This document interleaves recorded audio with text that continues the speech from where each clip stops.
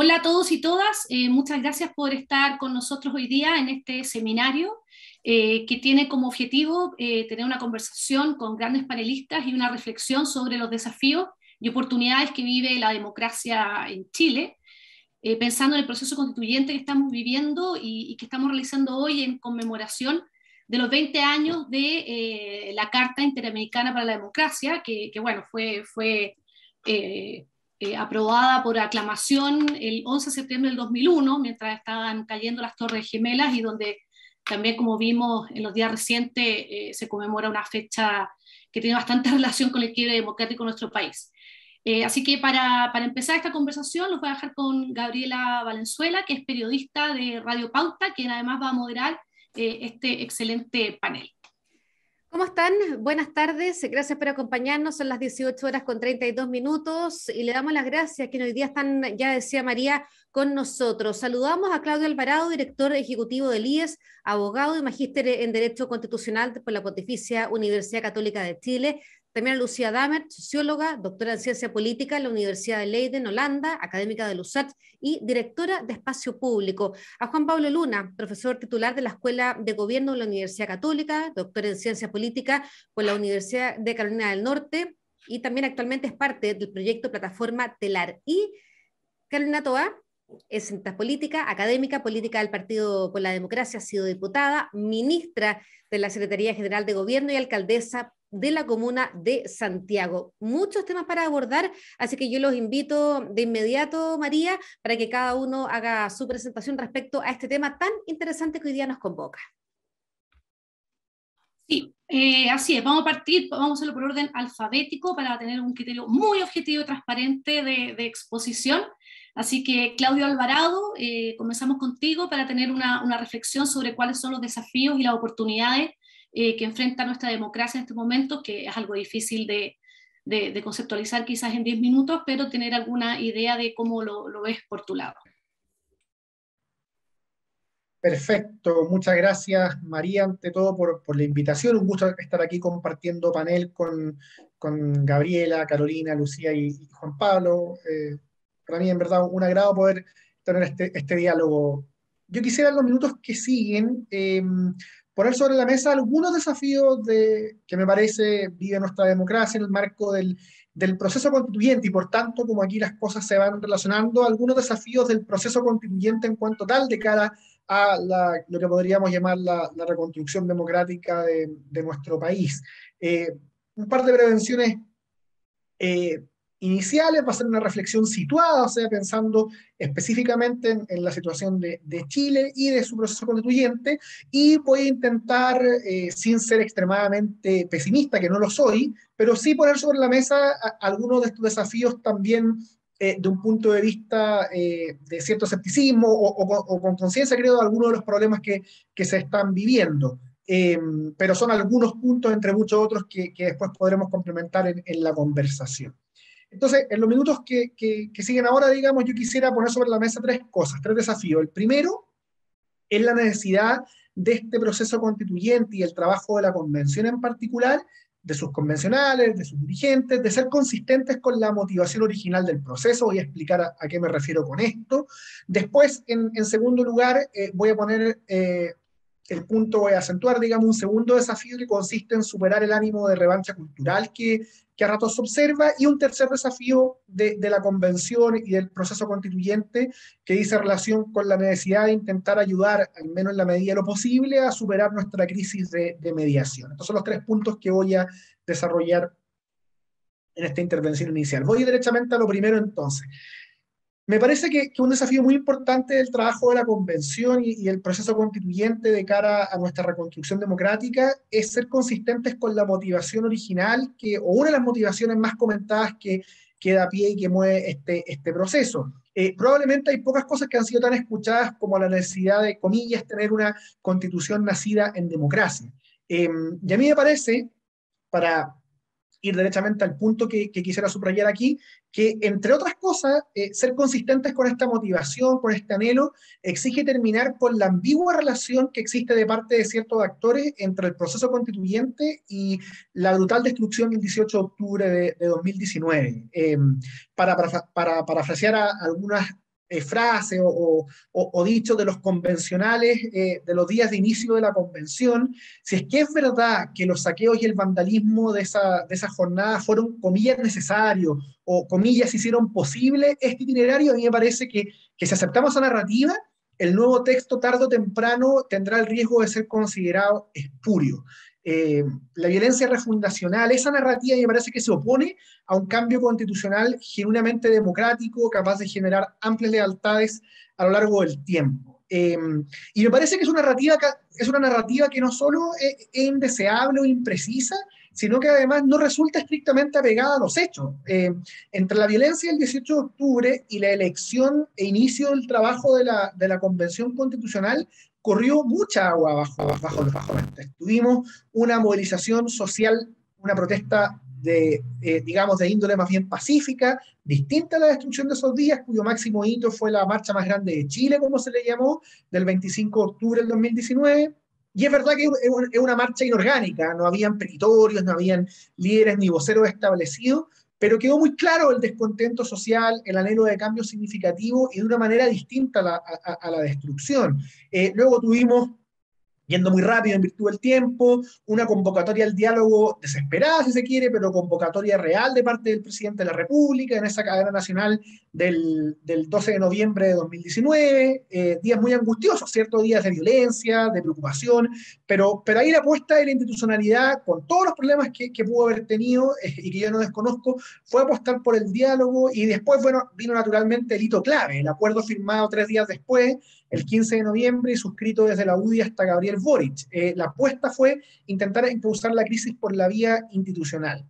Eh, naturalmente, luego tuvimos el categórico triunfo de la prueba. Lo que quiero decir con estos recordatorios muy, muy rápidamente es que entre la vía de los hechos, entre la destrucción del 18 de octubre y el funcionamiento de la convención, tanto la movilización social como el sistema político jugaron un papel central.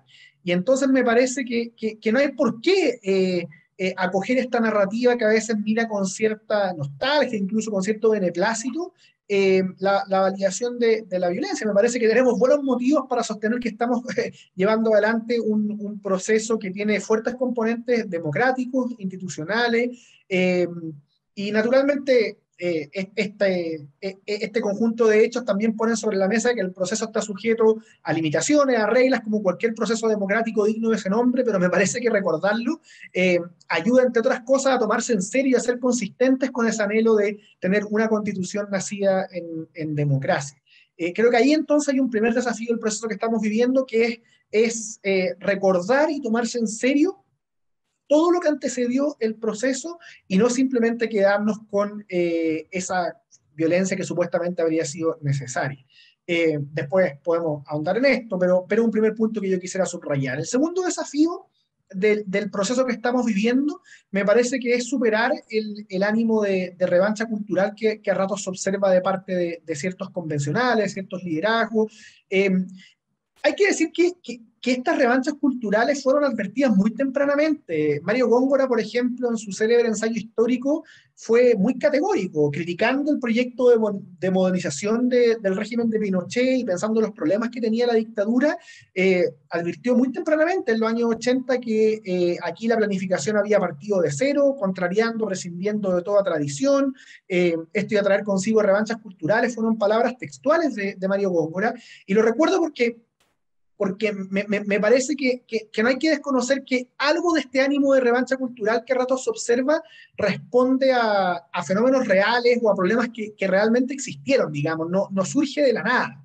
Eh, hay muchos factores que inciden en estos ánimos de revancha culturales eh, y, algunos de ellos, insisto, tienen, tienen fundamento. El punto es que nada de eso justifica que tengamos, por ejemplo, a Jorge Baradira a pocos días de la convención, llegando a decir que eran convenientes las agresiones sufridas por sus colegas convencionales de, centro derecha. Em, me parece que, que, tenemos que ser capaces en, lo que estamos viviendo de, de, dejar atrás todo aquello que, em, que colabore a esos ánimos, eh, porque lo que está aquí en juego me parece que es muy profundo y que tiene que ver con renunciar, eh, o no, yo espero que sí se, se, renuncie, digamos, al propósito de crear un hito análogo a una especie de momento fundacional o momento cero, eh, Eh, y, entonces hay que, me parece, sin perjuicio de que hay un anhelo de cambios muy extendido, también hay que ser consciente que hay un anhelo de cambios conducidos por la institucionalidad, y entonces hay que abandonar estos, estos anhelos que a veces llevan a impulsar refundaciones de signo contrario o, incluso eh, validar agresiones. Creo que eso nos perpetuaría en el ciclo eh, que supuestamente queremos dejar atrás, no ayudaría a una construcción como la que requiere el, nuevo ciclo. Eh, y creo que esto es muy importante decirlo eh, y recordarlo, porque hemos tenido algunos de estos episodios, no es lo único, no es lo que predomina, hay críticas injustas respecto al trabajo de la convención, pero también algo de esto es observado y creo que es bueno tenerlo presente porque es un desafío de lo que estamos viviendo, del camino que, estamos recorriendo, intentar superar ese, ese clima, ese ánimo de, de revancha cultural. Y lo tercero que quisiera poner sobre la mesa el último punto, el tercer desafío del trabajo de la convención, es algo que no tiene tanto que ver con el proceso o con el tono de los, de los convencionales o con la manera de enfrentar el diálogo, sino con el resultado del proceso, con el diseño institucional que, que traiga consigo la, nueva constitución que se proponga al país para ser plebiscitada.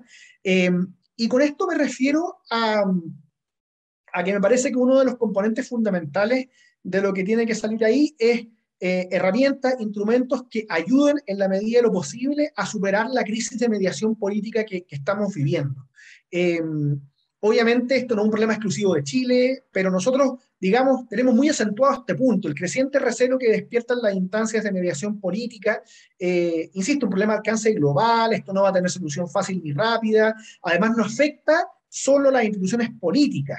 Eh, en general, las distintas instancias de mediación están sujetas hoy día a tensiones y a, cuestionamientos. Eh, desde el declive de la nación, que media entre el ciudadano y la humanidad, hasta la pérdida de credibilidad de la iglesia, que media entre los creyentes y la eternidad. Hoy día, en todas las dimensiones, digamos, de nuestra existencia, las instituciones mediadoras están sujetas a cuestionamientos que además tampoco surgen de la nada, surgen como respuesta a problemas muy reales que han, experimentado esta, esta instancia. Pero, pero me parece que, que este, este deseo de inmediatez eh, que, desconoce, que critica cualquier esfuerzo de, intermediación, también es muy problemático y también tiene consecuencias nocivas en el campo estrictamente político. Em, y de hecho, el estallido social que, antecede al trabajo de la convención, eh, me parece que logró eh, de manera casi paradójica visibilizar de manera muy, muy, muy sintomática la necesidad de las instancias mediadoras. O sea, eh, fueron estas mismas fuerzas políticas desacreditadas eh, las que en la hora más, más angustiosa, más decisiva, fueron capaces de concordar un camino institucional orientado a, superar la crisis. Ahora, ¿qué es lo que ocurre?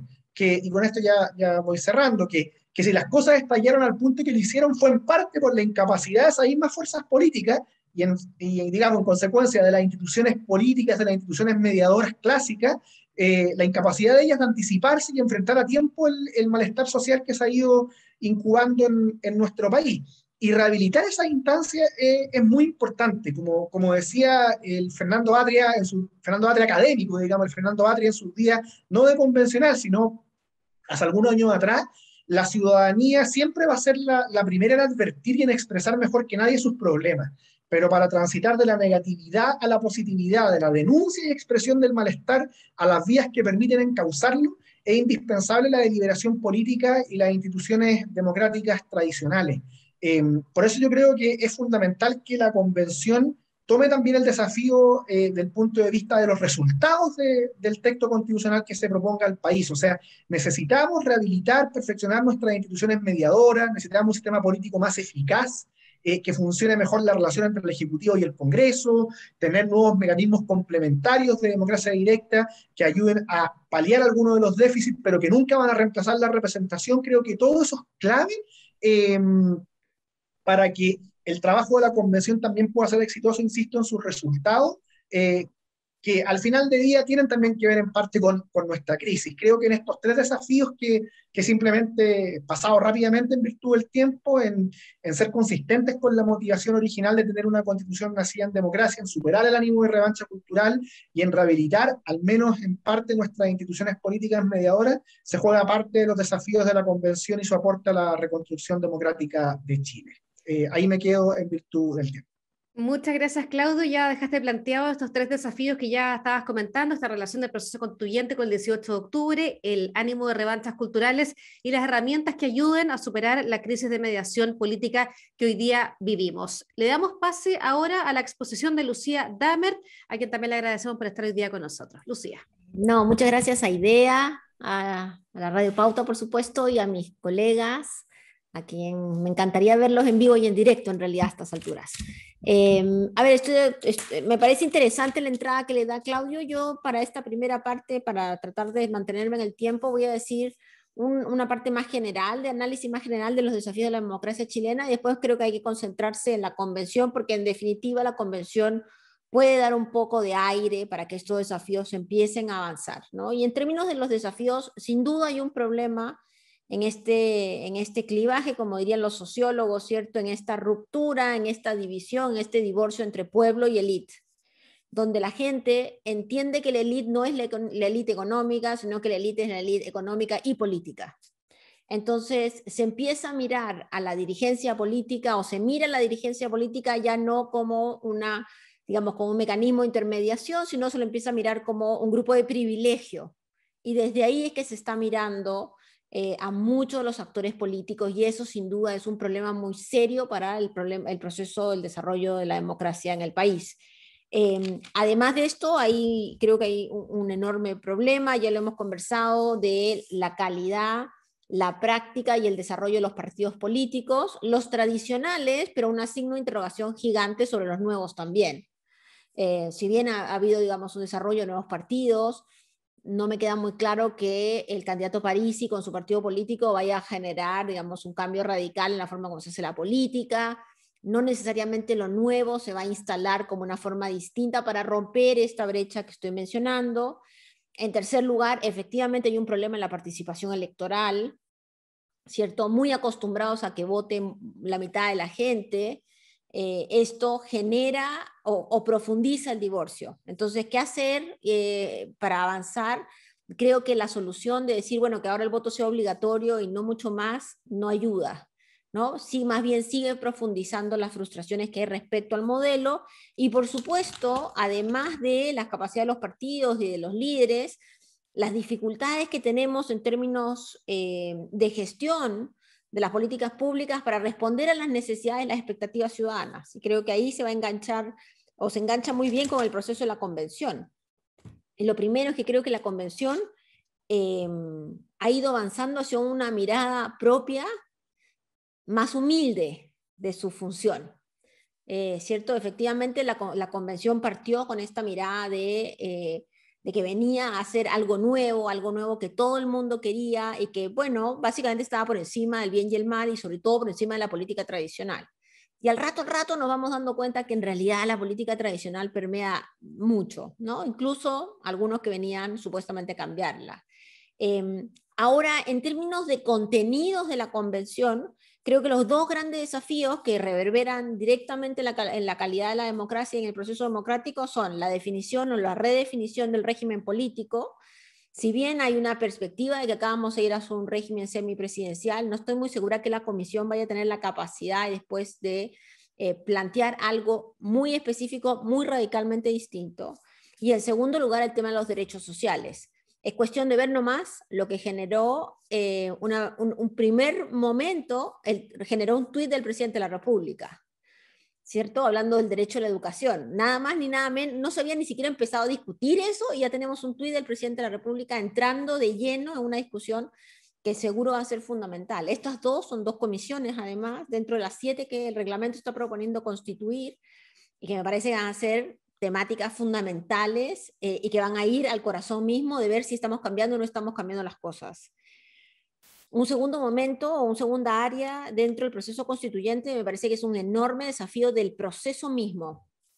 Como yo creo que las normas constitucionales vamos a ir por los dos tercios, no me voy a concentrar en eso, pero sí creo que es muy interesante que en el diseño van a haber siete comisiones y, en paralelo funcionando y después va a haber una comisión de armonización quiero decirles que no quisiera estar en esa comisión, o sí en realidad, porque el trabajo que va a tener esa comisión, el poder que tiene esa comisión de decir, mira, en realidad lo de la, Comisión 1 y la Comisión 3 no tienen nada que ver. Cómo armonizamos los contenidos de la convención me parece que puede generar todo tipo de rispidez y todo tipo de dificultades. Eh, hay un punto que lo hemos conversado con muchos de ustedes y es cuándo y cómo van a ser la participación comunitaria. Yo me he vuelto mago mirando los datos, no sé cuándo, tendrá que ser en enero eh, y con mecanismos que sean, por lo pronto, con alguna forma de ida y vuelta, ¿no? Porque uno no puede hacer miles de participaciones comunitarias y decir, las hicimos, gracias por participar. Tiene que haber, y esos mecanismos todavía no están y me parece que son un desafío eh, fundamental. En el marco del proceso que se ha autoplanteado la convención, me preocupa un poco cómo vamos a hacer para discutir los temas profundos de la plurinacionalidad. Eh, declararnos un Estado plurinacional no es poner plurinacional en la primera línea, sino es en las siete comisiones que se han constituido, mirar qué significa eso en términos de derechos humanos, qué significa eso en términos de justicia, qué significa en términos de descentralización. Y eso requeriría algo que por lo pronto yo no veo, y es una mirada común de los 15 escaños respecto a cómo se quiere constituir el tema de la plurinacionalidad y un, no quiero decir un lobby, pero una incidencia con algunos de los grupos más grandes que hay ahí adentro para poder apoyar esta iniciativa en las siete comisiones. Em, y ahí, digamos, en los tres minutos que me quedan, respecto a los resultados, creo que también hay... Em, no, no, voy a poner énfasis en el tema que planteaba Claudio de la violencia, no violencia. Yo creo que todos sabemos cómo llegamos a donde estamos, ¿cierto? Eh, en parte también la violencia estatal, no podemos dejar de mirar la violencia estatal que fue, digamos, impulsor de mucho de lo que estamos viviendo, ¿cierto? Pero, pero en términos de resultados, en esta mirada, digamos, de una constitución que se va, a se va a construir, no en la medida de lo posible, pero que se va a construir buscando consensos entre gente muy diversa, Em, creo que tenemos que tener claridad que probablemente la constitución no va a ser, o el documento constitucional no va a ser el que cada uno de los 155 eh, convencionales quería inicialmente. Y vamos a tener que hacer una bajada bastante más terrenal respecto a lo que uno puede esperar de un proceso como este. Eh, y qué, cuáles son los capítulos o cuáles son las temáticas que quedan después para la política pública. Y eso me parece eh, bien fundamental. Acá, en el tema del resultado, nos, nos, golpea de lleno con el tema del próximo gobierno. Em, y mi pregunta central es, ¿hasta qué punto, si ganara Sichel o ganara Gabriel Boric o Jana Proboste, hasta qué punto el plebiscito se puede convertir, ya, el plebiscito probablemente en agosto, ¿cierto? Se podría convertir en una evaluación del gobierno. Eh, ¿Y cómo hacer, ¿cierto? Para este gobierno que va a partir el próximo año. ¿Cómo hacer para desligar ese proceso? Porque en definitiva estamos todos, por lo menos yo creo que el peor escenario es que se pierda el plebiscito, francamente, y volver a la constitución del 80, etcétera. Pero también dentro de ese escenario, el, rol del próximo gobierno, con toda esta propuesta que ha hecho, que es justamente la propuesta de disminuir la brecha entre pueblo y élite, eh, disminuir la crisis de los partidos, cambiar la forma como se hace la política, eh, va a tener un rol fundamental y puede llegar a ser un plebiscito también del mismo gobierno. Eh, y eso hay que tratar de separarlo, si no se convierte en un desafío fundamental, ya no solamente para la convención, sino para la estructura misma del desarrollo democrático en Chile. Y en ese sentido, el próximo gobierno va a tener el rol fundamental. Em, eh, gane quien gane, ¿cierto? Va a tener el rol fundamental de explicar muy bien cómo ha sido este proceso, cuáles son los mecanismos de, cambio y transformación que implican la nueva constitución para llegar a un plebiscito con voto obligatorio, con 50% de la población que probablemente nunca ha votado, con una educación cívica importante respecto a lo que se está eh, debatiendo. Eh, y no enganchar necesariamente con situaciones más de política contingente. Eh, creo que ese es todos esos son elementos de un escenario bastante movible, eh, pero yo no pierdo la oportunidad de decir que soy súper optimista, que creo que a pesar de todos los problemas, la convención se ha ido moviendo de forma bastante interesante Eh, y en ese sentido, ahora lo único que nos quedaría mirar es cómo vamos a, avanzar en estos procesos paralelos de comisiones, cómo se va a armonizar el, proceso final del documento final y cómo eso se va a mover en el marco de la elección presidencial eh, de noviembre y la segunda vuelta en diciembre. Eso, muchas gracias. Muchas gracias, Lucía. También dejaste planteado tus puntos principales, la calidad práctica de desarrollo de los partidos políticos, participación electoral, voto obligatorio, sí o no, a ver si retomamos ese tema más adelante, y todos los desafíos de la convención. Los dejo ahora con Juan Pablo Luna. Juan Pablo, gracias hoy día por acompañarnos. No, gracias de nuevo por la invitación a IDEA y a Radio Pauta también. Eh, a mí me, gustaría, digamos, como en esta primera intervención, salir un poquito de Chile eh, porque digamos, me gustaría discutir un poquito los, los algunos preceptos del, del, análisis digamos, respecto a la crisis de la democracia, no solo en Chile, sino en, la región y, en, y, a nivel global, eh, y, tratar de eh, digamos, poner algunos puntos para, para, la discusión después que puede aterrizar en Chile, digamos, y ya ha aterrizado en Chile con, este, tanto con Claudio como con, con Lucía. Lo primero que a mí me gustaría plantear es que usualmente estamos, eh, estamos como obsesionados con el populismo y con el autoritarismo. ¿sí? Eh, y yo creo que, y con, con la irrupción de, del populismo a nivel global y a nivel también nacional, eh, y, a mí me preocupa que mi impresión es que ese no es el problema. el, el lo que estamos viviendo es otra cosa, digamos, es una polarización fragmentada, ¿sí? Eh, donde hay una alternancia eh, en tiempos cortos de movimientos de opinión que eh, se estructuran en algún momento y que rápidamente pierden legitimidad y son desplazados o entran en crisis de legitimidad. ¿sí?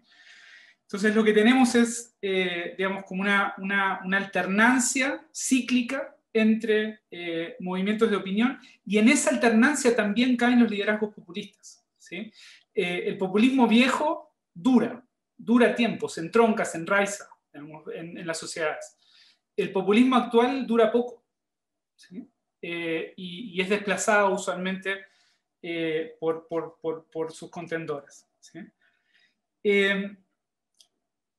¿Qué es lo que está detrás de eso? Lo que hay detrás de eso es el colapso de los partidos políticos y de las estructuras de mediación y representación. Y esto ya fue, fue aludido. Si uno mira la región desde las transiciones a la democracia hasta ahora, básicamente los partidos que lograban el 90-95% de las eh, adhesiones, en, en, la gran mayoría de los países de América Latina hoy logra un 10%, un 18%, un 20% a reventar con, muy poquitas excepciones. Y este colapso es sin reemplazo, eh, de 300 y pico de partidos que fueron generados desde el 1975 hasta ahora, eh, más o menos 11, 12 logran sobrevivir a la actualidad.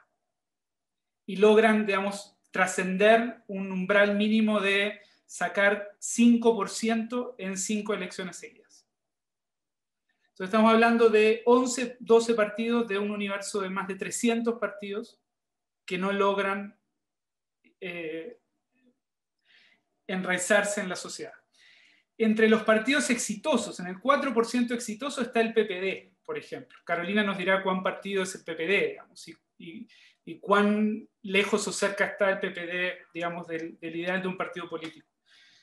Eh, está también el FMLN de, eh, El Salvador, Arena del Salvador, que acaban de ser desplazados por Bukele eh, en, dos ciclos electorales eh, sucesivos. Entonces, tenemos un colapso de las estructuras de, de, representación, no hay reemplazo, no hemos encontrado la forma de solucionar ese problema. Europa y los países que se veían, digamos, como los modelos a seguir por el resto de los, por ejemplo, los países de América Latina con instituciones más frágiles, eh, están colapsando. Chile es un caso de eso, ¿no? Es, es uno de los casos que se, se, era visto como un modelo en la región. Eh, en general se le decía, eh, gran parte, digamos, de la consultoría internacional le decía a Bolivia, a Perú, a Ecuador, generen reglas y traten de institucionalizar el sistema de partidos, traten de tener un sistema de partidos como el chileno, y hoy Chile tiene un sistema de partidos que se parece mucho más eh, al de esos países que lo que esos países han logrado desarrollar eh, eh, siguiendo al, modelo chileno. Esto me lleva a un segundo punto, que es el siguiente. hay varias de las preguntas que nos mandaron para, para estructurar la discusión hoy, tenían que ver con la constituyente y tenían que ver con qué reglas, qué instituciones veíamos como claves para eh, solucionar los problemas que tenía la democracia en Chile y en la región. Y la mala noticia ahí es que llevamos 30, 40 años probando reglas diferentes, probando arreglos institucionales diferentes en la región y nada ha funcionado. Cambiamos los sistemas electorales en toda la región. Hay reformas constitucionales en toda la, en toda la región los partidos siguen sin funcionar como pensamos que tienen que funcionar para articular una democracia de calidad. Eh, creo que estamos súper centrados, esto viene de la economía y los economistas tienen parte, digamos, de, la responsabilidad acá, en pensar mecanismos y mecanismos institucionales estructuras de incentivos para estructurar la acción de los agentes en, en la sociedad y en la política. Y lo que estamos perdiendo de vista me parece que es la constante atrás de toda este, eh, esta crisis de la democracia en América Latina, es que tenemos estados súper desparejos territorialmente, funcionalmente, que funcionan sobre sociedades muy desiguales y que hacen que las reglas que diseñamos o los incentivos que diseñamos a tres cuadras de distancia funcionen muy diferentes porque aterrizan en la realidad de las personas, aterrizan en los derechos de ciudadanía civil, social, política, los que accede la ciudadanía, eh, de forma completamente heterogénea. Entonces estamos pensando reglas desde arriba eh, que desde el abajo operan de forma súper heterogénea y nos generan una cantidad de desigualdades que eventualmente se politizan y se politizan desbordando eh, a, las instituciones dos ejemplos de eso que estaban, eh, uno de ellos estaba en la pauta, digamos, había una pregunta específica sobre qué pensábamos respecto a la descentralización. A mí me encanta la descentralización en, en, principio, ¿sí?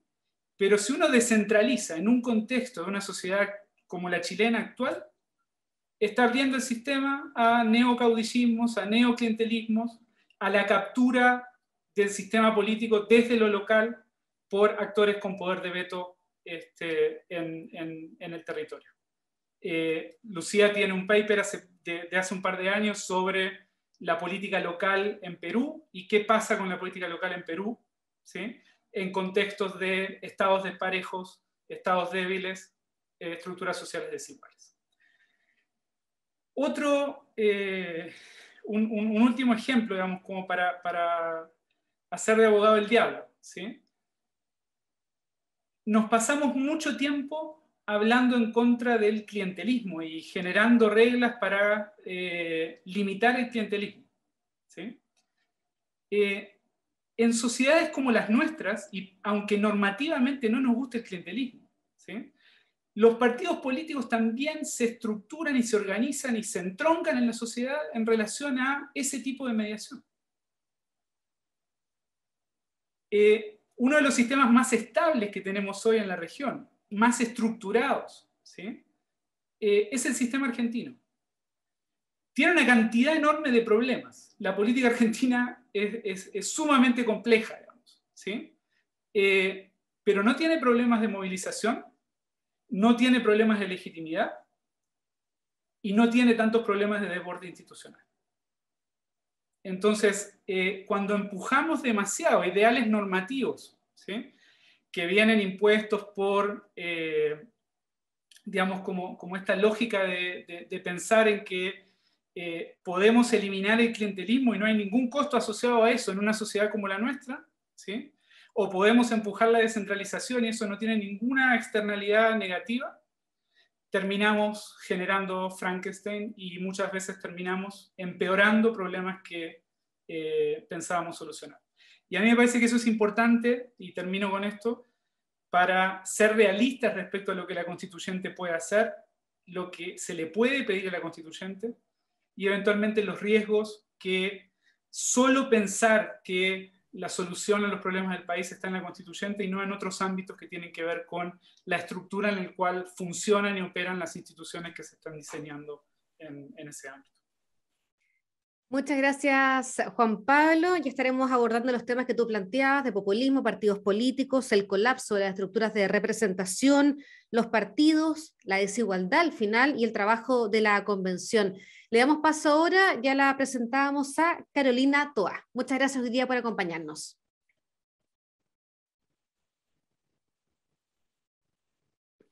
Ahí sí. Gracias a ustedes, a IDEA, a Radio Pauta, bueno, a todos los participantes de este panel. Eh, un gusto estar con ustedes acá y escucharlos.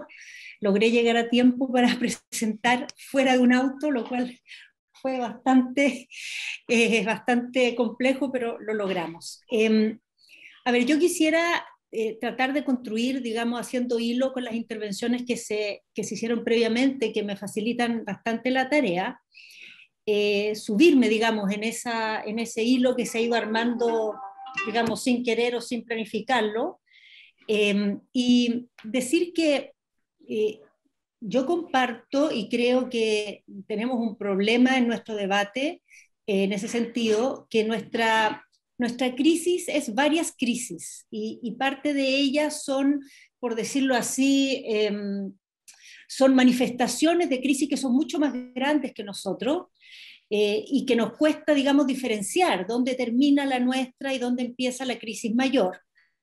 Y yo creo que uno de los elementos que ayuda a abordar ese debate y a tratar de tener como una cierta mirada común mínima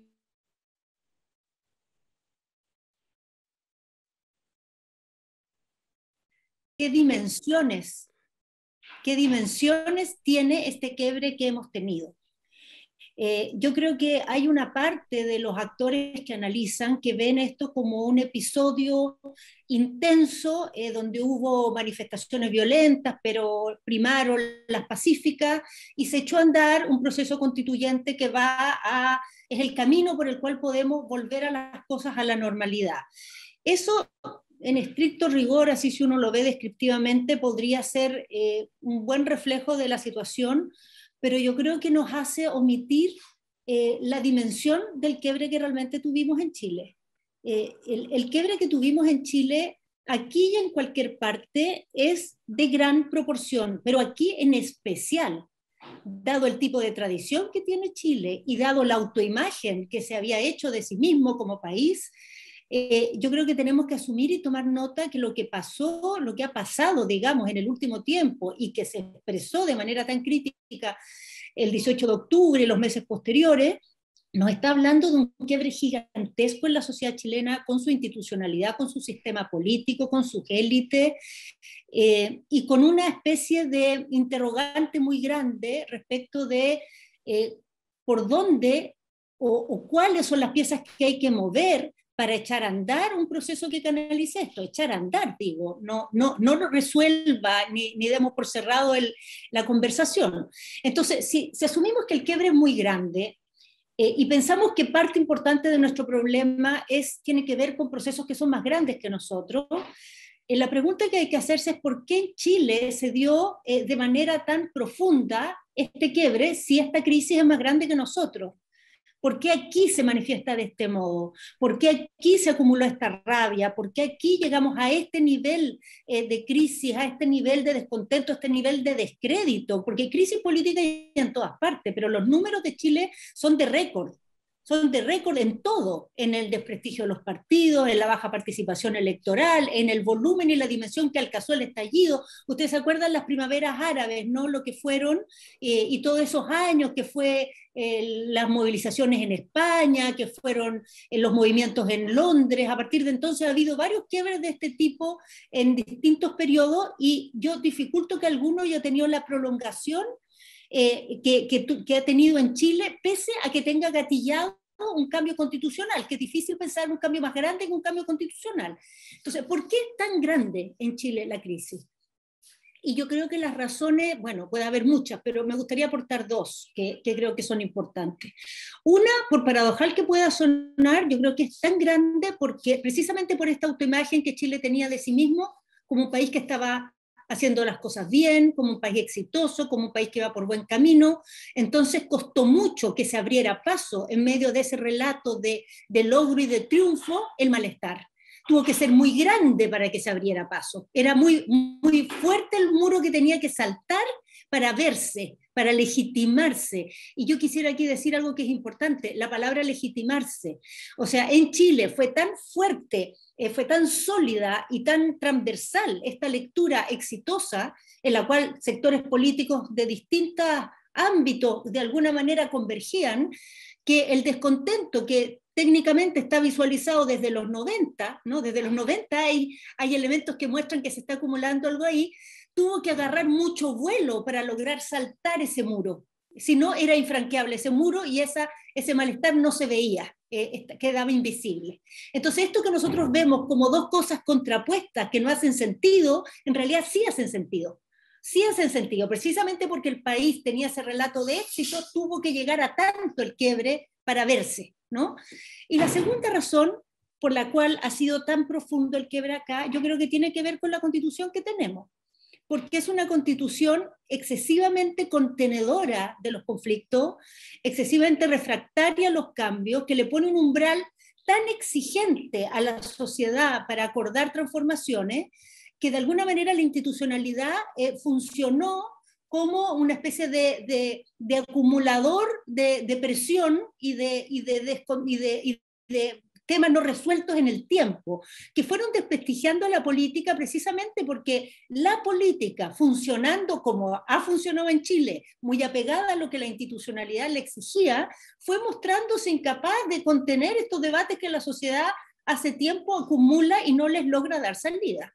Entonces, al nosotros abrir la puerta a un proceso constitucional, ¿estamos enfrentando el problema? Definitivamente sí, estamos enfrentando una parte del problema, pero definitivamente no todo el problema. O sea, hay una parte de esto, eh, aquí dio, dio, varias luces Juan Pablo, que las comparto plenamente, que, que, tienen que ver con procesos mucho mayores que nosotros, creo que en eso yo comparto hace tiempo, que las manifestaciones de lo que llamamos populismo, las expresiones de lo que vemos como eh, brotes autoritarios, yo no digo que no sean el problema, yo creo que son problemáticas y que son muy complejas, pero son síntomas de un problema mayor. Entonces, cuando uno cree que su problema está ahí, no ve de dónde viene esta, esta sintomatología, ¿no? De dónde está arrancando y, tiene que ver con todas estas eh, dinámicas que mencionaba Juan Pablo, de que el ciclo político no logra recoger los debates de la sociedad y se, al final se concentra en arbitrar los debates electorales y las mayorías y minorías,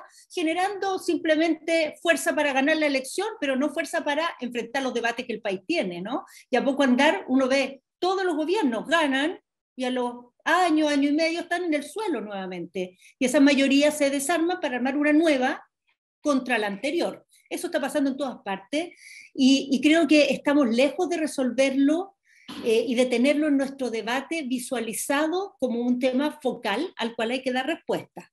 Estamos todavía en el debate de cómo resolver las taras que tiene nuestra constitución del 80 las taras que son las herencias pinochetistas, por decirlo así. Nuestro debate está muy puesto ahí. Es necesario, porque efectivamente con una constitución de este tipo, este problema le ponemos más presión y es más difícil que la sociedad encuentre un camino con una institucionalidad de este tipo. Bien que hagamos esa discusión. ¿Va a ser suficiente? No lo creo. No lo creo por todas estas razones y porque a eso se suma algo que todos han mencionado previamente, que es la dificultad de la representación en la actualidad, eh, que, que, tiene que ver con la forma de los partidos, por cierto, pero creo que tiene mucho que ver también con el agotamiento, eh, la insuficiencia, la frustración que hoy día tiene la sociedad con los relatos políticos que la, la política tradicional puede ofrecer. Los partidos siempre han tenido muchas deficiencias, hoy día son más evidentes porque la sociedad es más plural, está más empoderada, hay más información, hay una aspiración a horizontalidad, a que las reglas son iguales para todos, y como hay transparencia, todas las incongruencias saltan a la vista de inmediato. Entonces, bueno, claro que es evidente que eh, se, se hace mucho más nítida la falencia. Sin embargo, antes la gente estaba dispuesta a perdonar muchas más falencias porque los partidos ofrecían un camino detrás del cual se, acumulaban muchas esperanzas, muchos sueños, aunque el día a día de las sociedades probablemente no era, no era mejor que el nuestro actual y probablemente en muchos aspectos era mucho peor. Pero la política podía ofrecer una promesa, un horizonte, traía eh, la expectativa de un futuro distinto. Eso es lo que hoy día la política no tiene, no tiene credibilidad para ofrecer. Y por lo tanto, todas sus debilidades se cobran aquí y ahora sin perdón y sin excusa. Eh, y creo que en eso, no digo que las constituciones no puedan hacer nada, podrían hacer, pero para eso debiéramos tener una reflexión que no hemos tenido, debiéramos tener arriba de la mesa ideas de cómo se atiende esto, que yo no, aún no las veo presentes. Lo que veo es la idea de que uno puede bypassar la crisis de representación con la democracia directa, y yo creo que la democracia directa puede ayudar, puede complementar, pero no va a lograr resolver la crisis de representación. La democracia directa con una representación cuestionada probablemente puede incluso agudizar la crisis, agudizarla, eh, generar aún más dificultad de que la institucionalidad logre generar confianza y logre ser vista como un instrumento para resolver los debates. Entonces, yo, enhorabuena, instrumento de democracia directa, control social, muy importante, pero necesitamos meterle cabeza a la representación y creo que necesitamos, no solo en Chile, aquí me meto en la agenda que supera Chile, pensar nuevas instituciones para articular los debates de la sociedad. Ya nosotros vamos a ganar mucho con tener un sistema menos bloqueado que el actual, un sistema que permita el juego de los acuerdos y los disensos, que no se base en que haya acuerdo de todos con todos para llegar a una decisión. Creo que eso ya es un paso gigantesco, pero no nos engañemos que ahí recién estamos resolviendo la herencia de Pinochet, no estamos resolviendo los problemas de la sociedad actual. Y último tema que quisiera plantear para tratar de no pasarme mucho del tiempo, es que si bien yo creo que es verdad que la descentralización tiene todos los problemas que Juan Pablo dijo, creo que tiene dos, dos cosas que nos pueden ayudar. Una, que habiendo descentralización hay mucha más presión para la equidad territorial.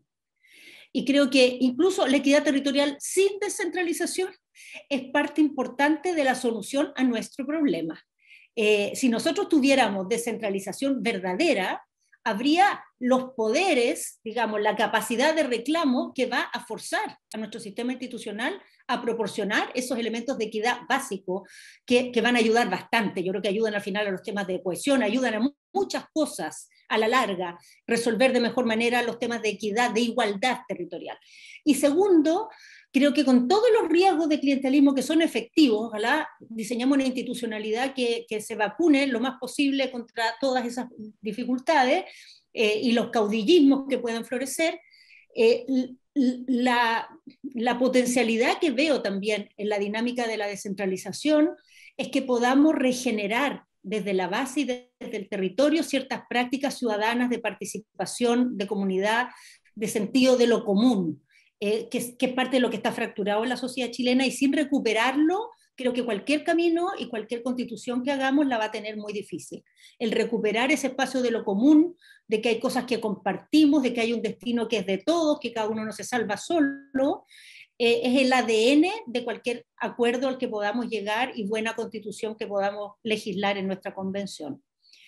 Muchos temas más, así que dejo hasta aquí y veremos qué salen las preguntas y los comentarios.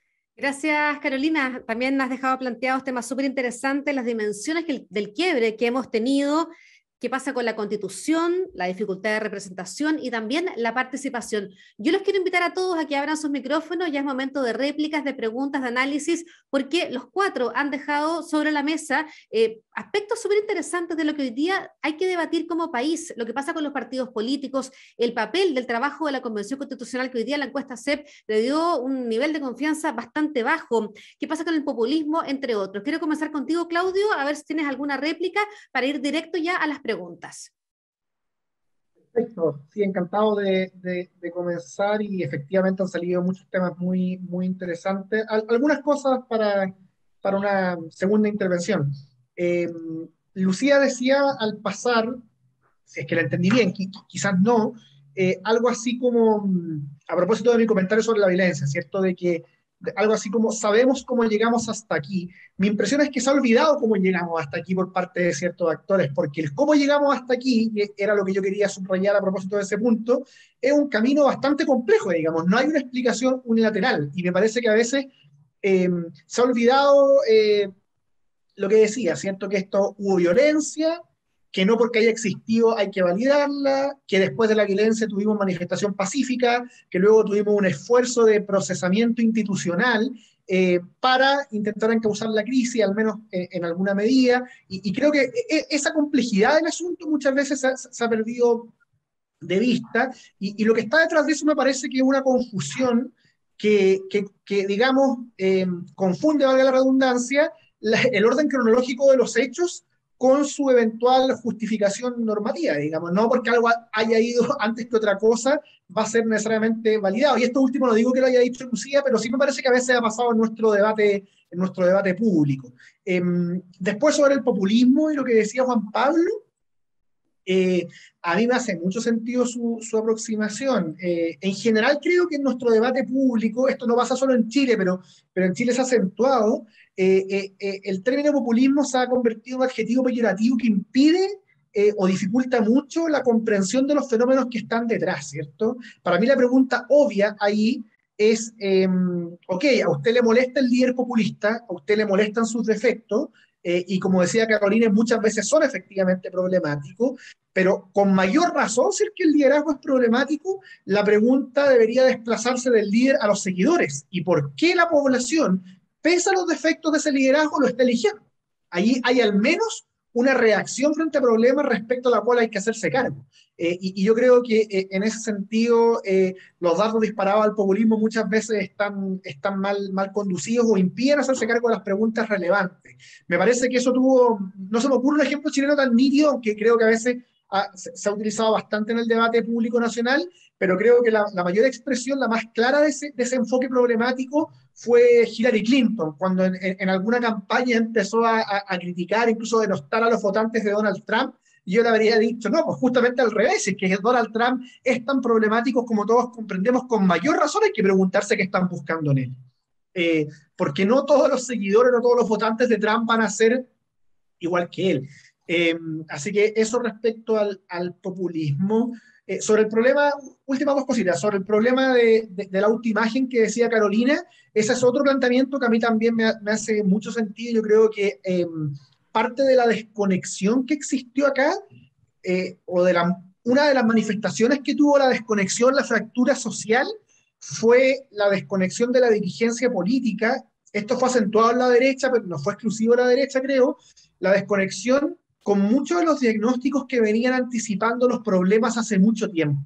Porque la verdad es que teníamos, nadie anticipó desde luego el 18 de octubre o la crisis que se prolongó en octubre, noviembre, tal como fue, pero teníamos hace mucho, hace mucho tiempo eh, interpretaciones que desde distintas disciplinas y distintas, veredas políticas eh, venían advirtiendo parte de, nuestros problemas. Y, y en esto eh, obviamente que, en particular la derecha pecó de, miopía, ¿cierto? Em, insisto, aquí habían distintas, eh, distintos informes, distintos autores, distintas disciplinas que lo venían advirtiendo, pero en el caso particular de la derecha esto fue acentuado y la verdad es que no tenía por qué ser así. O sea, también hay una desconexión con la humanidad y las ciencias sociales que, que creo que, que, ha sido relevante. Eh, cualquier persona de derecha me parece que, que que, lea con, digamos, mirándose atrás en retrospectiva, este libro que recopila las columnas de Gonzalo Vial, eh, debiera hacerse una buena autocrítica, porque la verdad es que ahí está retratado. Eh, Gonzalo Vial falleció en 2008-2009, este libro está editado hace poco, pero las columnas son de,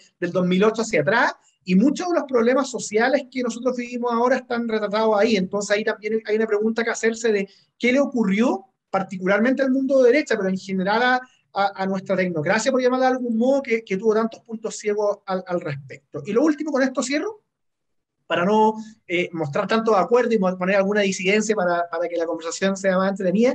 Yo tengo la impresión eh, eh, que, que, cuando Carolina habla de los problemas que generó nuestra, nuestra constitución en el procesamiento de, lo, de los debates sociales y las demandas, yo no sé si están bien apuntados los dardos. no porque la constitución no haya tenido problemas, que los tiene, pero, pero digamos que por decirlo así, a mí me parece que nuestro principal problema de diseño institucional que, que, permite entender parte de la falta de procesamiento de esos problemas tiene más que ver con el bloqueo entre el Ejecutivo y el Legislativo que con la supermayoría.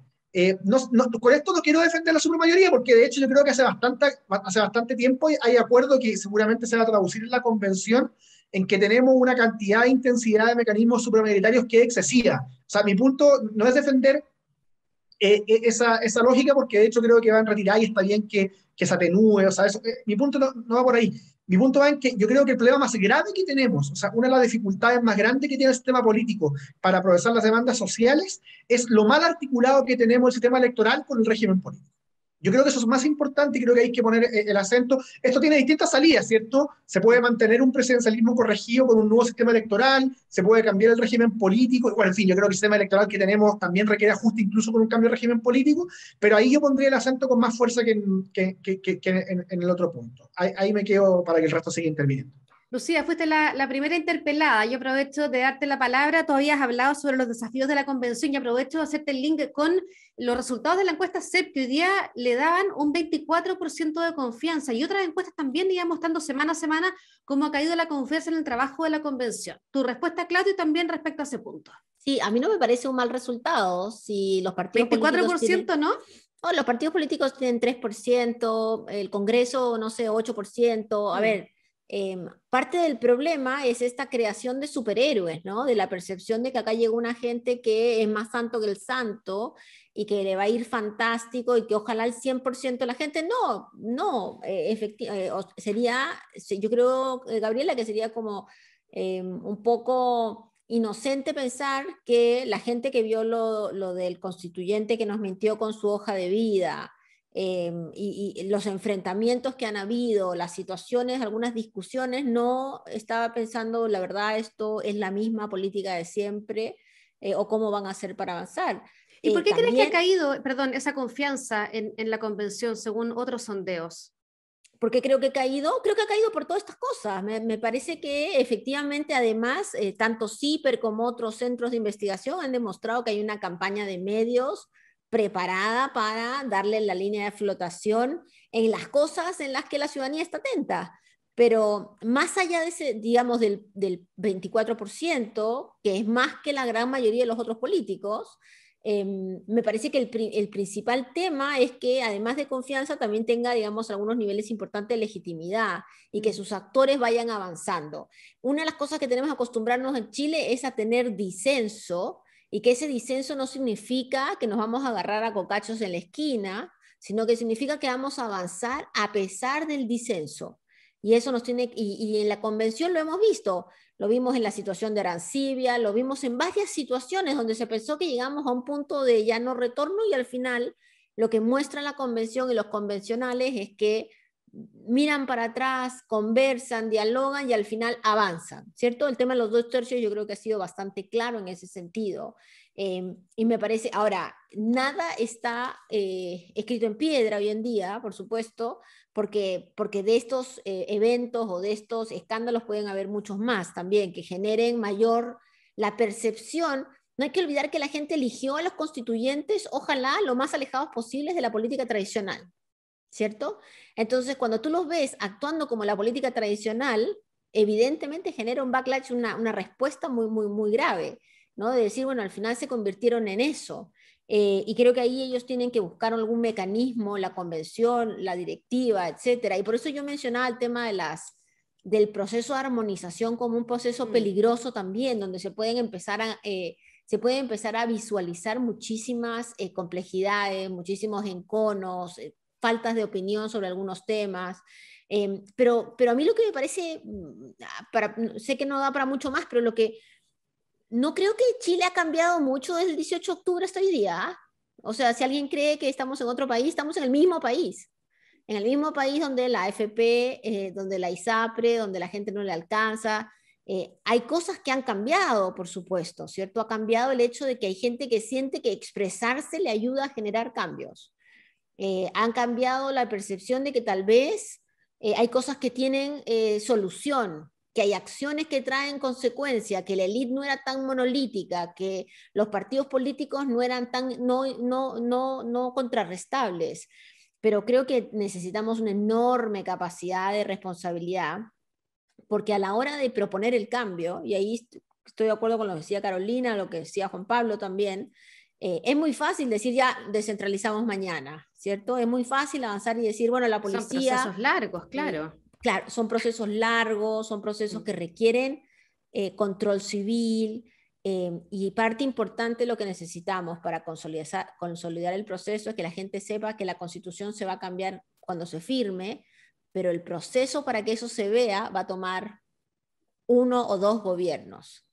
Entonces no hay que salir a la calle a los dos días si es que efectivamente uno se da cuenta que los derechos sociales no están siendo entregados completamente. Y, esa, esa labor de pedagogía política es algo que tiene que hacer todos y todas. ¿no? Mm. Eh, Juan Pablo, Hablaba Lucía respecto a la confianza de la convención con este 24%, decía que no es un número malo comparado con lo que está ocurriendo, por ejemplo, con los partidos políticos. Y ahí aprovecho a preguntarte que si no es a través del diseño institucional que usted cree que se debiera hacer para retomar las estructuras de representación como los partidos. Eh, yo creo que parte de, la crisis eh, no tiene tanto que ver con, de nuevo, con cómo diseñamos eh, las reglas, sino que tiene que ver con eh, el vaciamiento de la política durante mucho tiempo. Esto tiene que ver con lo que, lo que decía Carolina. Eh, durante muchos años, la política quedó vaciada de contenido. ¿Por qué? ¿Qué pasó ahí? Yo, me acuerdo perfectamente cuando fue el último resultado de las elecciones que muchos eh, parlamentarios decían hay que volver a la calle, hay que volver a las bases. ¿Qué pasó en el camino que no se hizo ese trabajo? Eh, yo creo que, o sea, en, parte quien lo planteó más claramente me parece es, Carolina, ¿no? O sea, por un lado, eh, sacaste del debate político una serie de cuestiones que generaban impactos distributivos, que generaban impactos en la vida de la gente, que generaban violencia estructural eh, para un sector importante de la ciudadanía. Eh, y eh, lo hiciste delegando en una élite tecnocrática, en una élite muy, digamos, permeable, digamos, y la misma élite económica, política, técnica, ¿sí? Eh, que se contaba cuentos a sí misma y hacia afuera con los indicadores y con métricas que son muy relevantes, pero que no son las únicas métricas que impactan en la vida de la gente. Y la gente durante mucho tiempo, ¿sí? esto tiene que ver eh, con, con, algo que quería decir respecto al, argumento de Claudio sobre la violencia. La violencia nunca se justifica, pero eh, tampoco ganamos mucho condenando la violencia. Hay que entender de dónde viene la violencia durante mucho tiempo tú le mostraste a la gente que la única forma de lograr cambios en este país era saliendo a romper todo. No importaba que votaras, básicamente la política pública era la misma.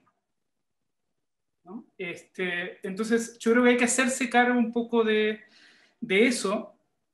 Y, el punto es, eh, y, volviendo a tu pregunta, este, Gabriela, respecto a qué es lo que tienen que hacer los partidos hoy.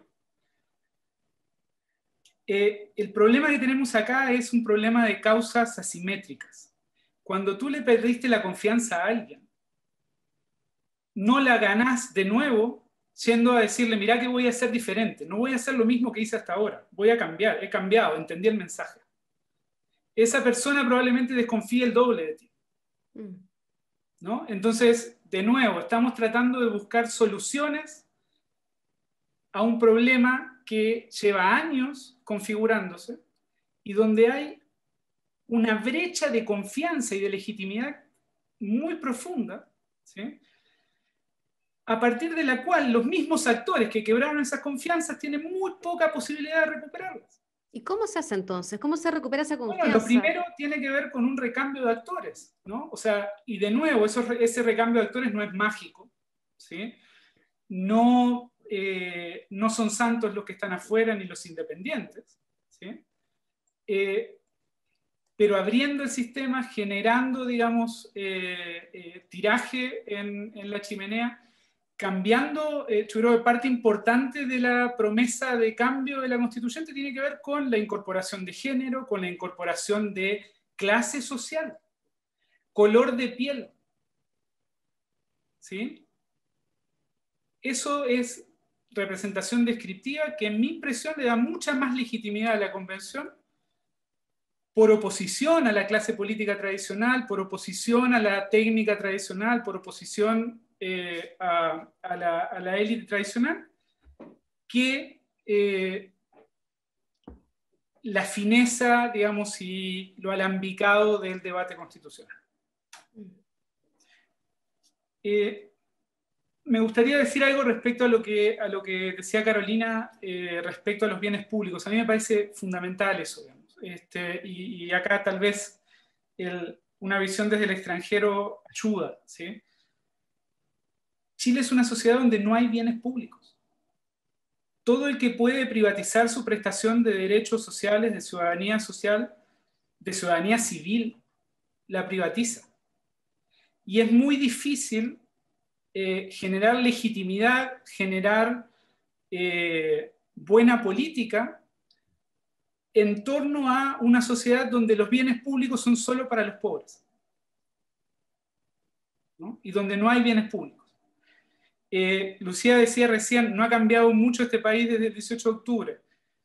Yo tenía esta tarde una, actividad de campo en, La Pintana. La persona que me está ayudando a, hacer este campo me llamó ayer al mediodía que estaba en el sótero del río porque se había clavado una espina en la mano y le tenían que, no se la había podido sacar. Acabo de chequear por WhatsApp, lleva 31 horas en la urgencia del sotero del río para que le saquen una espina. Eso es violencia estructural. Y no estamos, eh, estamos muy lejos, digamos, de, eh, de, solucionar ese tipo de problemas. Y el debate público me parece que está muy lejos de la realidad que la gente vive eh, en la mayoría de los territorios de, Chile. Carolina, Nuevos actores para recuperar la confianza es uno de los temas que planteaba Juan Pablo. ¿Sería ese el camino o dónde están nuestras oportunidades principales que no podemos dejar de pasar para poder profundizar específicamente en nuestra democracia, pensando en el lema del seminario que hoy día nos convoca, que son los desafíos y oportunidades para la democracia chilena? A ver, yo pienso yendo como de inmediato a la pregunta, aunque hay otros temas que quería comentar también que en, la dimensión de la crisis que nosotros tenemos y en cómo ha sido identificada con un activo político que eh, fue el, el, que encabezó, fuimos, porque soy parte de él, el que encabezó todo este proceso desde la transición hasta ahora, el tema del recambio y la renovación creo que es un ingrediente fundamental, ineludible de resolver esta crisis. Sin embargo, creo que dado el punto tan bajo en que está la valoración de la política, em, ha resultado tan fácil pegarle a la política, ha resultado tan obvio eh, ganar puntos, digamos, sobre la base de señalar a la política, que eso ha hecho que para muchos actores nuevos su manera de instalarse en el escenario es hacer una, una crítica muy fácil al mundo político, que si insisten en ella, eh, van a durar muy poco como posibilidad de recambio y oxigenación, porque a poco andar va a vérseles en esas mismas actitudes que en esta, digamos, facilismo se han transformado en formas muy obvias de criticar a la política. Por ejemplo, ¿a qué me estoy refiriendo? Eh, a la forma tan genérica y al voleo con que se descalifican los acuerdos, eh, la, necesidad de ceder para llegar a un punto de entendimiento con alguien. Cuando eso se le pone una serie de nombres espantosos, inmediatamente es una cocina, la renuncia, la traición, bueno, el día de mañana cualquier persona que llegue, por más legitimidad que tenga, y aunque venga del movimiento social y, y sea expresiva de la diversidad, a poco andar se va a ver sentada en una conversación en que va a tener que resolver si ceder para llegar a algún punto o quedar en nada. Mm. Eh, y si esa misma persona ha puesto este discurso arriba de la mesa, probablemente su combustión va a ser inmediata.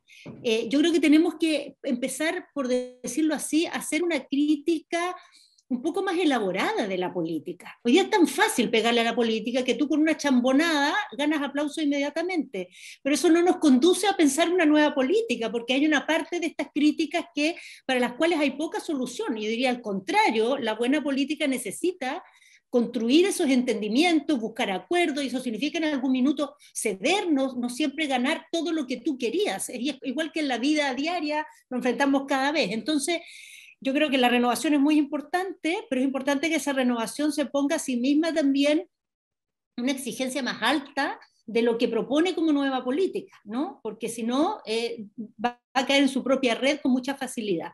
Y, por cierto, la renovación eh, eh, no es solo que venga nueva gente o gente joven, sino que vayamos pensando nuevas formas de articular en los partidos, nuevas instituciones que permitan, por ejemplo, modelar esto que es tan difícil con la dinámica de la competencia electoral que a la vuelta de la esquina tiene que medirse de nuevo, que los apoyos se pierden en poco tiempo. Entonces los actores políticos están siempre girando contra la próxima elección.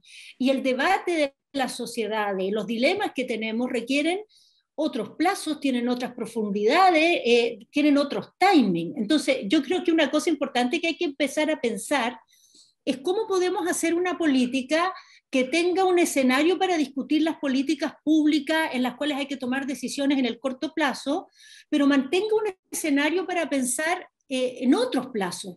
Y, eso, y esa parte de la política que va más allá de las políticas públicas que tiene que ver con nuestro pacto como sociedad, con los valores que, nos, que nos cohesionan, tiene que ver con este sentido de lo que compartimos, con los conceptos de dónde está la igualdad y hasta dónde la podemos exigir y esperar, o qué estamos dispuestos a ceder por la igualdad. Esa no es una discusión que la política pública, así que hay que resolver ahora en el Parlamento para arreglar el lío A, B o C, eh, pueda resolver. Y si me pregunta, me apura, me, me, pego con algo que se dijo antes, a mí otra de las críticas que no me gusta de la política es cuando los mismos políticos, también los mismos que, son cuestionados para, para quedar bien, dicen, no, es que tenemos que volver a la calle, volver a escuchar a la gente, acercarnos a la gente. Eso es lo que ellos decían después de los resultados de, la última elección, donde le fue muy mal al, oficialismo, donde decían, hay que volver a las bases, volver a la calle. Pero el problema es que eso es como una respuesta fácil, algo que en realidad no es el problema. el mundo político siempre ha ido a la calle siempre ha estado con la gente, siempre ha estado en terreno, siempre se ha estado con los vecinos. El problema es que te juntas a hablar de qué. Mm. Te juntas a hablar de qué manera. ¿Qué, qué, ¿Qué pasa en esa reunión? ¿En qué se concluye en esa reunión? Eso es lo que importa. No es cosa de ir más tiempo a la calle, que ahora antes iba tres días, ahora voy a ir cuatro. ¿sí?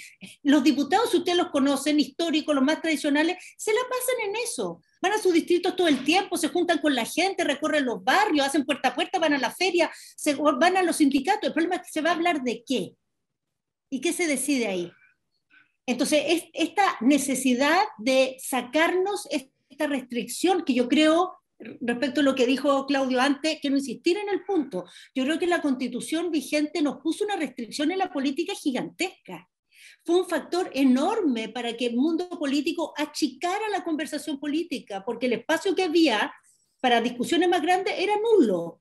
Y esto hizo además que la agenda que los gobiernos tuvieron, mayoría de ellos de centro izquierda, siempre estuvo volcado a ese margen donde podíamos movernos y todo lo que salía de ahí estaba fuera de la conversación, estaba fuera de la agenda, estaba fuera. Entonces eso fue haciendo que la gente buscara otros espacios para hablar estas cosas, buscar otros lugares para legitimar esas aspiraciones. Porque en la elección, en el parlamento, en el municipio, no, no era posible, era iluso. Era lo que ha pasado con los independientes también, cómo han tomado muchísima fuerza, claro. Lo mismo. Lo mismo, claro, pero los mismos independientes, mm. todas las personas que hoy día están sentadas y si hablan de estos temas, ahora hay que sentarnos a ver cómo generamos una institucionalidad donde podamos canalizar eso.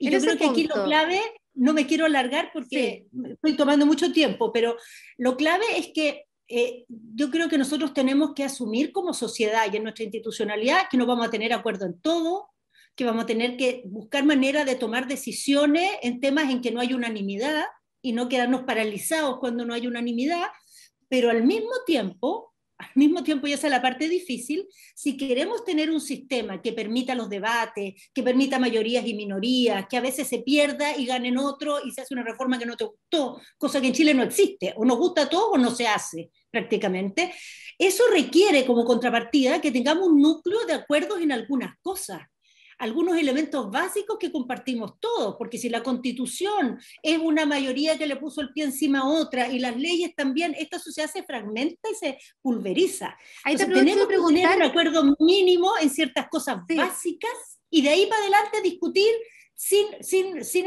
sin, apanicarnos, sin sentir que eso es el fin del mundo. Pero ese núcleo es fundamental que esté, porque si no está ni siquiera ese núcleo, entonces ahí los debates nos van a pulverizar y nos van a fragmentar un punto peligroso. Con todas las expectativas puestas en el trabajo de la convención, brevemente, dos tercios, ¿se debe avanzar con eso, Carolina? Bueno, por supuesto. O sea, yo creo que los hay quienes lo cuestionan, hay quienes que dicen que eso no debería existir. hay quienes lo cuestionan, pero yo creo que hoy día hay una mayoría que entiende que los dos tercios es lo que nos va a ayudar a esto que yo estaba diciendo ahora. Perfecto. que lo que salga de esa constitución sea refleje un entendimiento amplio.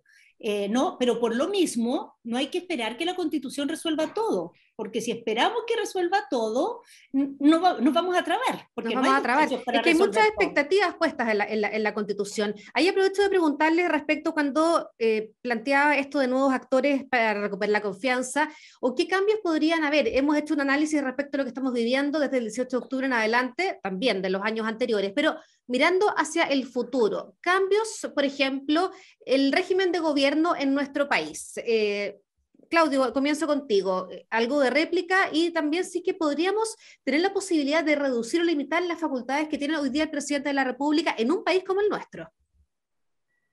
Sí, efectivamente han, salido muchos temas, es difícil ser breve. Em, Tratemos. Sí, sí, sí, sí. sí. parto, parto con, la pregunta misma. Em, a mí me parece que es fundamental, por los motivos que decía antes, digamos, no... Em, o sea, sí quiero insistir en esto. Me parece que un, componente esencial de nuestra crisis es la ineficacia del sistema político para dar respuestas importantes ante las prioridades ciudadanas. Em, el mejor ejemplo son las pensiones, ¿cierto? Eh, ¿Hace cuánto tiempo sabemos que las pensiones son una prioridad? ¿Hace cuánto sabemos que hay un problema?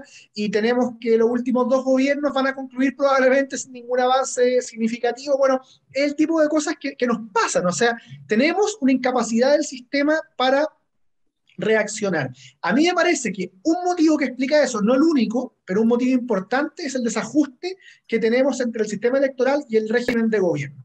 Y ante esa disyuntiva, yo soy partidario de modificar el régimen electoral y obviamente que el presidencialismo que tenemos eh, adolece de muchos problemas, pero yo reconozco que soy de los que mira con escepticismo eh, el, el, el, abandono completo del presidencialismo o, básicamente el transitar de, de régimen. Eh, y, y, quisiera explicar brevemente por qué.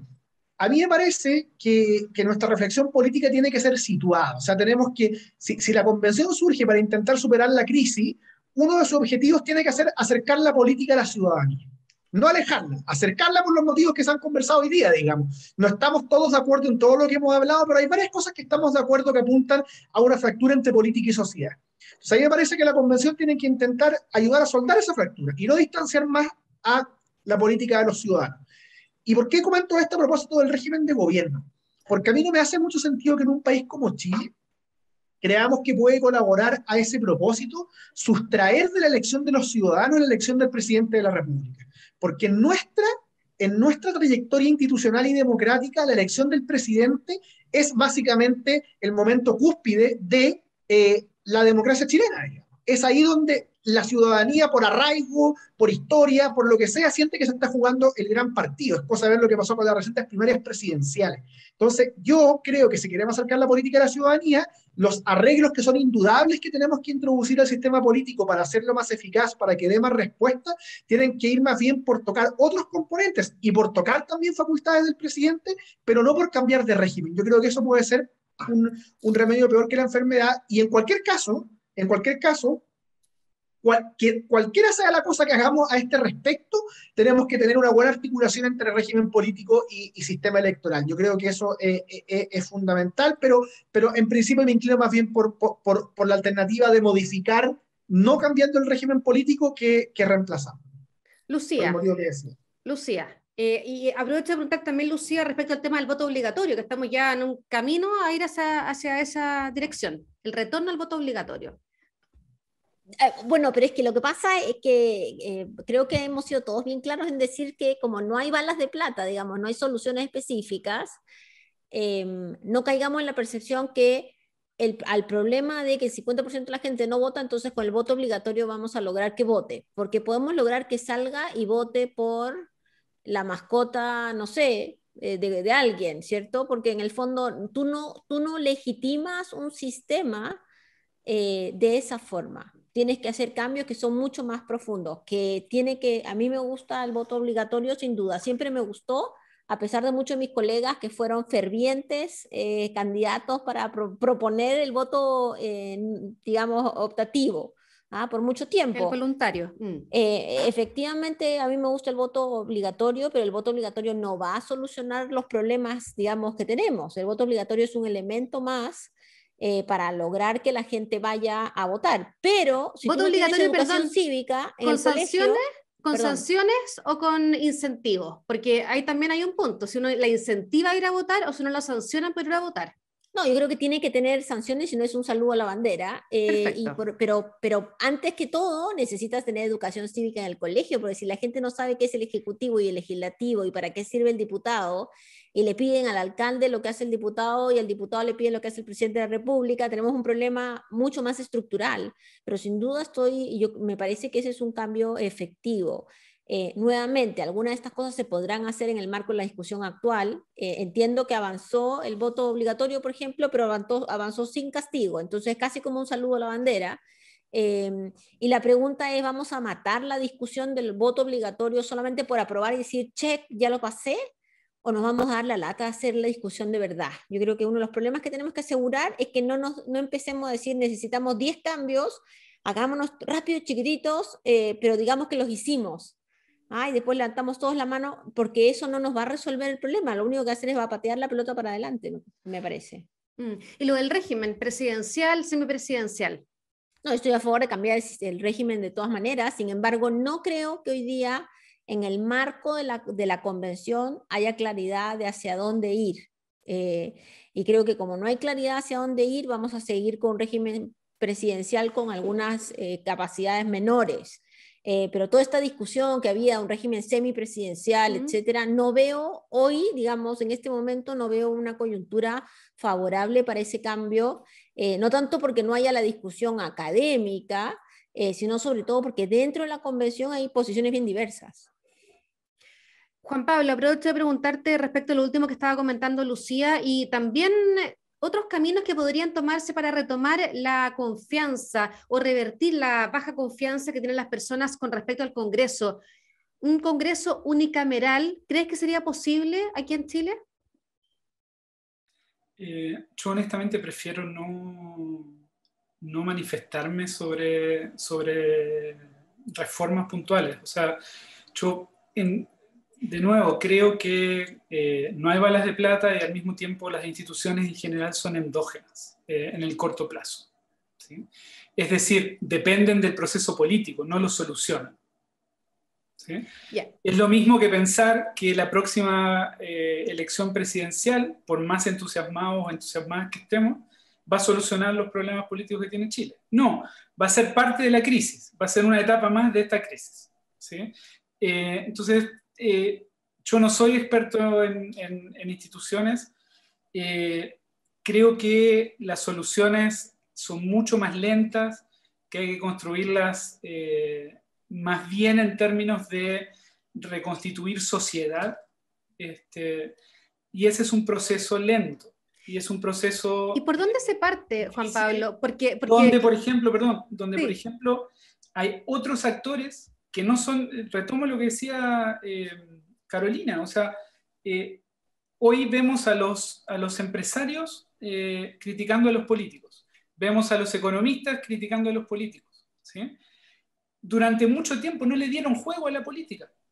¿no? Tienen la política que contribuyeron a, a, construir también por su actividad y por su acción en el pasado.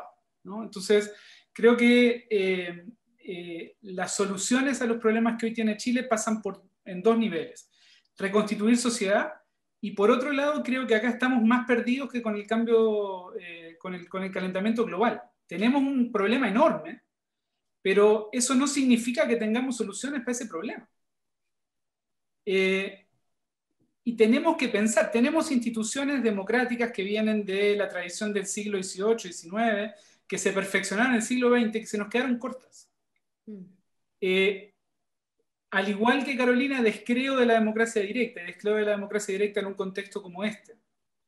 Eh, hay otras innovaciones democráticas que se han planteado y que a gran escala, en general, sostenidas en el tiempo, se nos quedan cortas. Entonces, no tenemos un formato institucional para lidiar con la complejidad de estas sociedades que nos permita al mismo tiempo generar orden legítimo y eh, respetando y profundizando los, eh, eh, el ideal democrático liberal.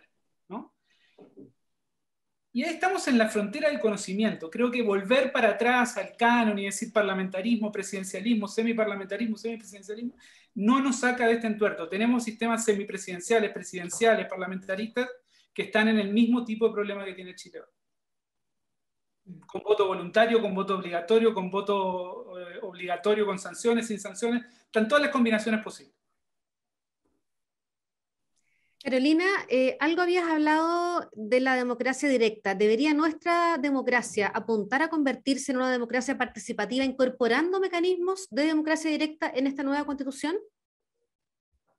Yo creo que hay muchos mecanismos de democracia directa que pueden ser eh, buenos, que pueden aportar pero no creo que ninguno de ellos resuelva la crisis de representación y creo que una institucionalidad democrática que le hace el quite a enfrentar su crisis simplemente abriendo unas válvulas de democracia directa para resolver los problemas se está eh, engañando a sí misma, en el sentido que esos mecanismos pueden, yo, yo, no soy contraria a los mecanismos de democracia directa, creo que sirven, depende para qué, depende cuándo, eh, es muy importante saber para qué sirve cada uno, o sea, aquí a veces hay mucha confusión respecto de qué pueden hacer los mecanismos de democracia directa y para qué nos pueden servir.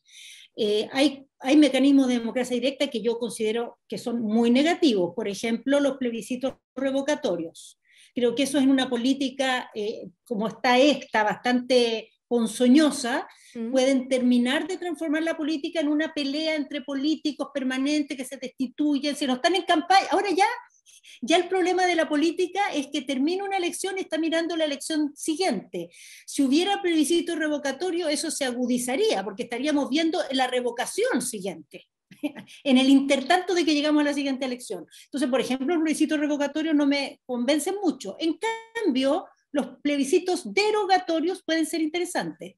Pueden ser una forma para cuando el sistema político llega a decisiones que tienen mucho rechazo ciudadano, para dar un camino para que la sociedad pueda echar abajo decisiones que se hacen muy a contrapelo del sentir ciudadano.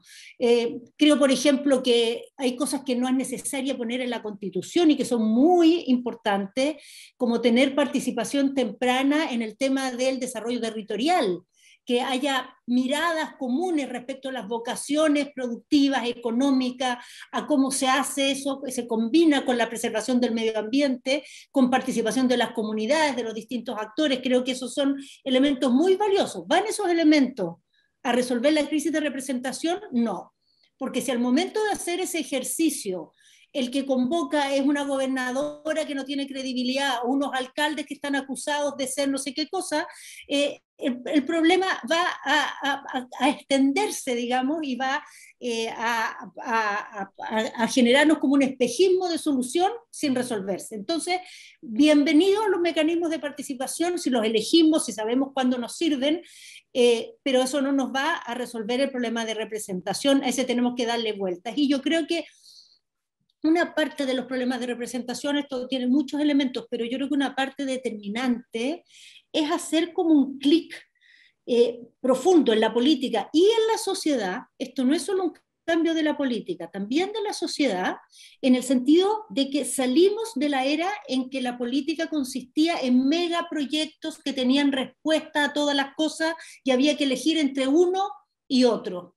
Eso ya no existe y seguimos haciendo política como si existiera y se siguen haciendo discursos como que la gente tuviera en la mano el recetario de las soluciones. Y con eso invitamos a los ciudadanos a actuar también como cliente del supermercado, que va y espera que le den su shot de lo que le ofrecieron. Entonces yo creo que hay que mucho más apuntar a una política que construya soluciones y que sea consciente de los límites de las soluciones. También de, lo que se sacrifica cuando se decide una cosa, de lo que se deja de lado cuando se prioriza algo. Eso la política es muy opaca, ah, para sincerarlo, porque no es popular, nadie quiere hablar de esas cosas en las elecciones, pero creo que en, gran parte esta crisis, de esta crisis se sale con una especie como de, de política más, más adulta, más madura, en el sentido que reconozcamos que todos los ciudadanos están habilitados para enfrentar los dilemas que los políticos enfrentan todos los días y que quieren enfrentarlo de alguna manera sin, sin mostrarlo, y esto tiene que ver un poco con la cocina, ¿no? No, no mostrar este pedazo feo, yo creo que en lugar de decir no va a haber cocina, hay que decir abramos la cocina. Abramos la cocina y veamos eh, eh, de manera más compartida, más horizontal, las opciones que tenemos, los caminos que construimos, cómo probamos cosas sin la garantía de que son seguras, sin la garantía de que son seguras, porque ya muchos de nuestros dilemas tenemos que innovar. No hay un recetario así, ni siquiera el gran recetario, que es el modelo que yo creo más razonable de sociedad que conocemos, que es el recetario socialdemócrata, yo creo que a esta altura nadie duda que es lo más razonable que ha conocido la humanidad, pero ese recetario ya se queda corto para muchas cosas. Tampoco tiene respuesta para muchas cosas, ni contiene la sociedad como es hoy día de compleja. Entonces, yo creo que una parte de esta crisis de representación tiene que ver con un tema de tratar más a los ciudadanos como, como ciudadanos, personas que tienen derecho a tomar decisiones, a ver las implicaciones de sus decisiones, a ser parte de los dilemas que tenemos y no esperar que le traigan un ofertón, un recetario con todas las respuestas porque nadie lo tiene. No existe. O sea, sinceremos que no existe. Hay unos mejores que otros, mejores propuestas que otras, pero ninguna es un recetario universal. Nos faltó tiempo para más preguntas. Eh, a ver si en otra oportunidad retomamos varios temas ahí que quedaron pendientes. Yo le doy el pase a María Jaraquemada. Muchas gracias, Gabriela. Bueno, yo solo cerrar, agradecer eh, a, estos grandes panelistas que nos acompañaron hoy, que, han visto en el fondo eh, estos como desafíos que enfrenta nuestra democracia desde distintos ámbitos y aspectos. También a Sergio Vitar, que se nos sumó, que es parte del directorio de IDEA Internacional y que nos ha acompañado muchas veces en estas reflexiones. Eh, y, creo que, que, finalmente, bueno, son muchos desafíos que plantean, uno puede ver el vaso medio lleno o medio vacío. Yo creo que de las cosas quizás como medio lleno que nos dejó la CEP hoy es una mayor valoración de nuestra democracia, que creo que ha venido desde, desde el estallido, eh, y también de los acuerdos, o sea, lo, lo, lo que decía eh, Carolina, eso como de, de, muchas veces de tender a, a, ningunear o a decir que los acuerdos en el fondo son siempre cocina, eh, en general en, en, en, muchos instrumentos que, que, se le pregunta a la ciudadanía se valora mucho más que, que lo que muchas veces se piensa. Y, y, ver cómo efectivamente innovamos para que nuestras instituciones sean capaces y la política de responder de verdad a los problemas de la ciudadanía, como vemos cómo avanzamos para, para, combatir esta desigualdad que tenemos en diversos aspectos, que yo creo que es como eh, la, la, la, causa más directa de, del estallido social, eh, y que efectivamente haya a, través de distintas instituciones mayor mediación y representación, que yo creo que es algo que, que, que, que es bien preocupante que no la tengamos hoy en día. Eh, como, como, dice el libro de cómo mueren las democracias, el tema de los partidos políticos, que yo creo que no son los partidos políticos hoy en día, pero como guardianes de la democracia, como evitar eh, también eh, este populismo, este autoritarismo que siempre está bastante presente en nuestra región eh, y, y, que estamos viendo ya algunos países como van con la fórmula perfecta hacia allá, como si fuera como una película que estamos viendo y ya sabemos cuál va a ser el final, como en el fondo nuestro proceso constituyente, porque yo lo veo más como el proceso, no solo como la constitución cómo este proceso, eh, como, como, decían, estas clases sociales distintas, estos colores, estas eh, mujeres, eh, indígenas, etcétera, cómo hoy en día los vemos en lugares de poder que, que, no es usual en nuestro país, cómo efectivamente eso y las formas también pueden ir renovando quizás las relaciones que tenemos entre la política, las instituciones y, y, y las personas que, que, habitamos esta, esta tierra. Así que muchas gracias.